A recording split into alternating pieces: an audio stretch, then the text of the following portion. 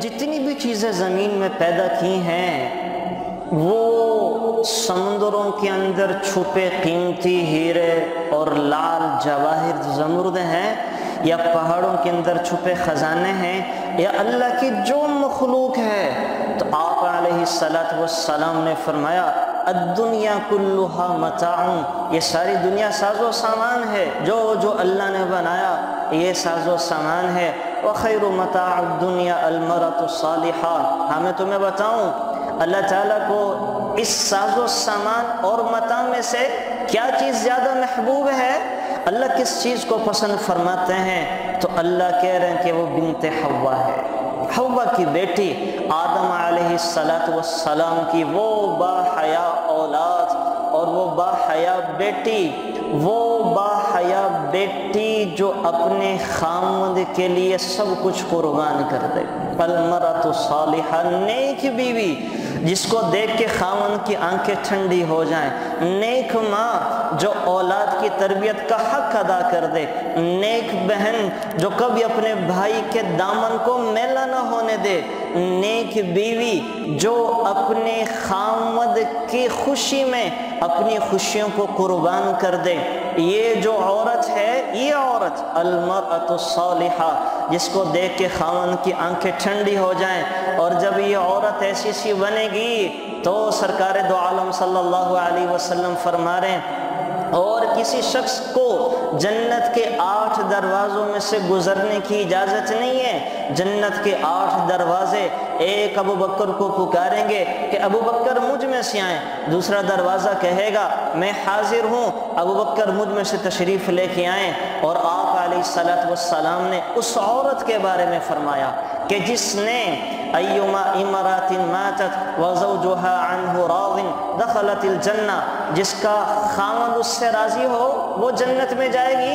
اور جس عورت نے کیا کیا؟ پانچ وقت کی نمازوں کا اہتمام کیا، رمضان کے روزے رکھے، اپنی ناموس اور عزت کی حفاظت کی اور اپنے خامن کو خوش کیا۔ تو آپ علیہ السلام نے فرمایا، جنت کے جس دروازے میں سے چاہے داخل ہو جائے۔ جس دروازے میں سے چاہے داخل۔ اتنی بڑی نعمت۔ تو اللہ تعالیٰ نے تو عورت کو اتنا قیمتی بنایا ہے، لیکن اللہ معاف فرمائے، اس آٹھ مارچ کے نام پہ، آزادی مارچ کے نام پہ عورتیں اپنی قیمت کو گرانا چاہ جا رہی ہیں، اپنے آپ کو بے قیمت کرنا چاہ رہی ہیں۔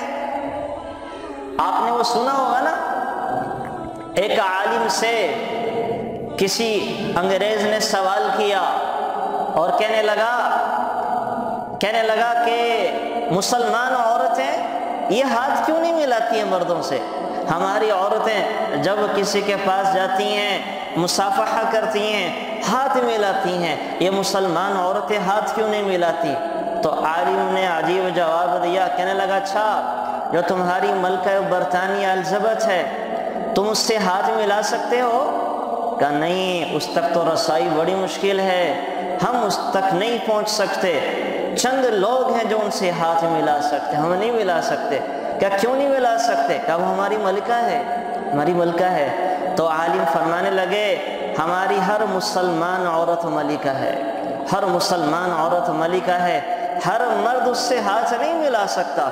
جیسے تمہاری ملکہ سے ہر کوئی ہاتھ نہیں ملا سکتا، ہماری مسلمان عورت سے اس کے محرم ہاتھ ملا سکتے ہیں۔ ان کے سوا کوئی دوسرا ان سے ہاتھ نہیں ملا سکتا۔ ہماری تو ہر عورت ہی ملکہ ہے۔ اللہ نے تو ہر مسلمان کی ہر ماں، بہن، بیٹی کو ملکہ کے روپ میں بنایا ہے۔ پھر وہ آدمی کہنے لگا کہ آپ کی مسلمان عورتیں حجاب کرتی ہیں، پردہ کرتی ہیں، بدن کو چھپا کے رکھتی ہیں، بالوں کو اپنے ڈھانپ کے رکھتی ہیں۔ یہ کیوں ہیں؟ یہ کیوں ہے تو اس مسلمان نے سمجھانے کے لیے عالم نے دو ٹافیاں لی۔ ایک کو زمین میں نیچے گرا دیا اور ایک کو اس کے لفافے کے اندر رکھا۔ تو زمین میں گرا دیا، ایک کو لفافے میں رکھا۔ تو اس انگریز سے کہا، کس کا انتخاب کرو گے؟ دونوں میں سے کون سی لوگے؟ کا ظاہر ہے، جو لفافے کے اندر ہے، میں تو وہی لوں گا۔ جو زمین پہ گر گر چکی ہے، میلی کچیلی ہو چکی ہے، میں اس کو کیوں ہاتھ لگاؤں گا؟ تو وہ عالم دین فرمانے لگے، بس وہ مسلمان عورت جو بے حیا ہو جائے جو بے حجاب ہو جائے، جس کے بال اور مرد بھی دیکھنے لگیں، جس کے بدن سے کپڑے اترنے لگیں، وہ اس ٹافی کی طرح ہے جو زمین پر پڑ جاتی ہے اور جس کو کوئی چوس کے نیچے پھینک دیتا ہے۔ ہر کوئی اس کو اٹھانا گوارا نہیں کرتا۔ تو اسی وجہ سے ہماری مسلمان عورتیں وہ بے حجاب، بے پردہ نہیں ہوتی۔ کہ وہ ایک قیمتی پتھر کی طرح ہیں، اس ٹافی کی طرح ہیں جو لفافے کے اندر ہے، اس ہیرے اور لال کی طرح جو سیپ کے اندر ہوتا ہے۔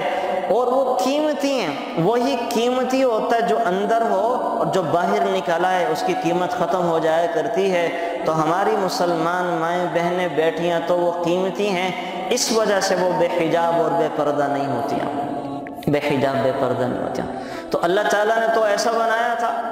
اللہ تعالیٰ نے تو مسلمان کی ماں، بہن، بیٹی کو ایسا بنایا ہے اور اس روپ میں وہ بنایا ہے، کاش کاش کے کیا ہی اچھا ہوتا کہ آزادی مارچ کے نام پہ کچھ عورتیں با حجاب ہو کے، با پردہ ہو کے نکلتی اور یہ اعلان کرتی کہ ہم ہم اپنی بڑوں کی روایات کو زندہ کرنے کے لیے آئے ہیں۔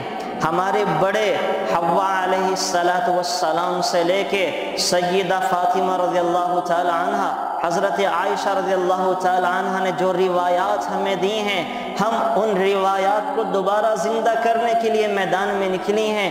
ہمارے مرد جو کما کے لائیں گے، ہم تھوڑے پہ گزارا کریں گی کاش کہ یہ احتجاج کرتی کہ ہم اپنی روایات کے اندر جو غیروں کی روایات مہندی کے نام پہ اور فیشن کے نام پہ آ چکی ہیں، ہم ان کو ختم کرنے کے لیے میدان میں نکلی ہیں۔ ہم ان روایات کو ختم کریں گی کاش کہ ہماری مائیں بہنیں اس نام پہ احتجاج کر رہی ہوتی کہ یہ جو بارات کے نام پہ اتنا مجمع اکٹھا ہو جاتا ہے، ہم آئندہ اپنے گھروں کے اندر بارات نہیں بلوائیں گی، ہم سادگی کے ساتھ رخصت ہونا گوارا کریں گی کاش کہ ہماری مائیں بہنیں اس نام پہ احتجاج کرتی کہ ہم جو ہیں وہ بہت زیادہ بری کی نمائش نہیں کریں گی۔ سادگی کے ساتھ چند کپڑوں میں اپنے سسرال چلی جائیں گی۔ کاش کہ ہماری مائیں بہنیں اس نام پہ احتجاج کرتی کہ ہم جا کے اپنے گھر والوں کی، سسرال والوں کی جا کے خدمت کریں گی۔ جیسے میرا خاون رکھے گا۔ میں اس حال میں خوش رہوں گی۔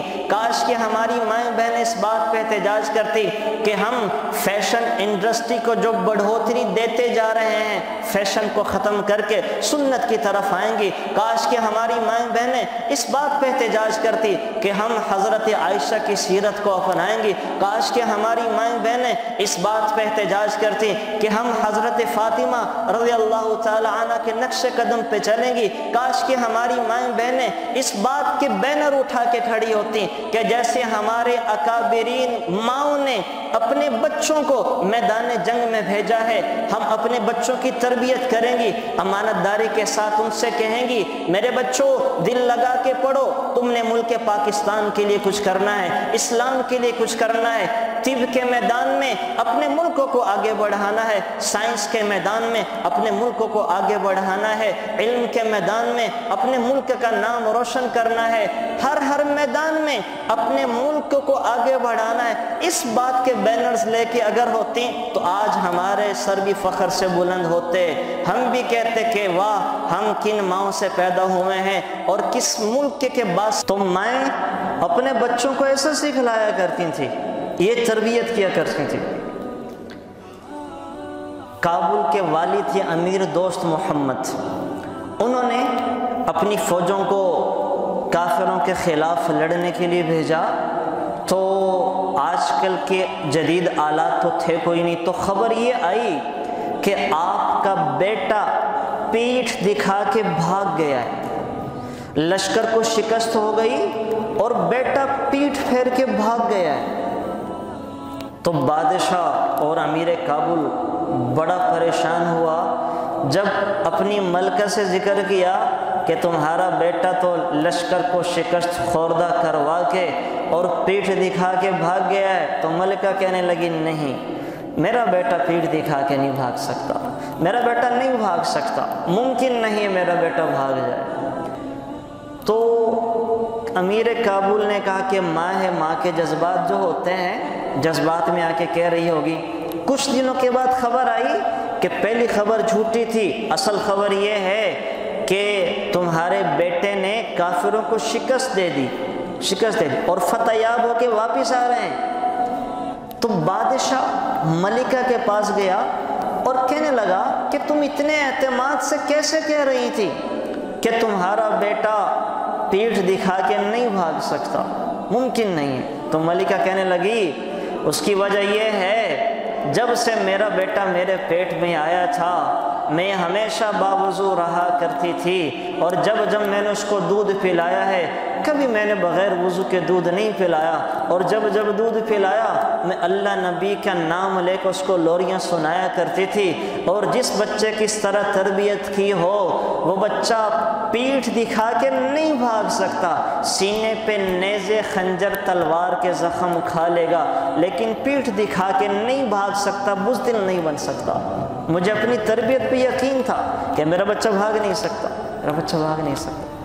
تو مائیں ایسی تربیت کیا کرتی تھی؟ کاش کہ جو یہ آزادی مارچ پہ اور عورتوں کے آزادی مارچ پہ نعرے لگانے جا رہی ہیں کہ ہمارا جسم ہماری مرضی، شادی نہیں، آزادی، وہ اپنے گھروں میں بچوں کی تربیت کریں۔ اگر وہ صحیح سے تربیت کریں تو انہیں سے محمد بن قاسم پیدا ہوں گے انہیں سے موسیٰ بن نصیر پیدا ہوں گے انہیں سے طارق بن زیاد پیدا ہوں گے انہیں سے حضرت حسن حسین کے نقش قدم پہ چلنے والے پیدا ہوں گے۔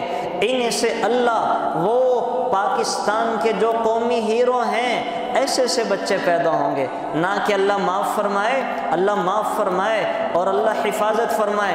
اگر یہ عورتیں ایسے ہی نعرے بازیاں کرتی رہیں اور ایسے ہی یہ بینرز لے کے سڑکوں پہ نکلتی رہیں، تو ان سے قوم کے میراثی پیدا ہوں گے۔ ان سے میراث پیدا ہوں گی ان سے گلوکار، اداکار، فنکار پیدا ہوں گے۔ جو اسلام کا نام بھی ذلیل و رسوا کروائیں گے، ملک پاکستان کے نام کو بھی پامال کریں گے۔ تو میری تمام سننے والوں سے گزارش ان کی منت کریں، انہیں سمجھائیں کہ یہ غیروں کے شیطان کے نعرے اپنے منہوں سے نہ کہیں، شیطان کے بہکاوے ورغلاوے میں نہ آئیں، واپسی اپنی طرف کو آئیں، اپنی روایات کی طرف کو آئیں، اپنے دین کی طرف کو آئیں، تاکہ اللہ تعالی ہماری، ہمارے ملک کے رہنے والوں کی آفتوں سے، آزمائشوں سے، مصیبتوں سے حفاظت فرمائے اللہ تعالیٰ مجھے آپ کو سب کو عمل کی توفیق نصیب Thanks for watching. Please subscribe like share Mufti Sufiya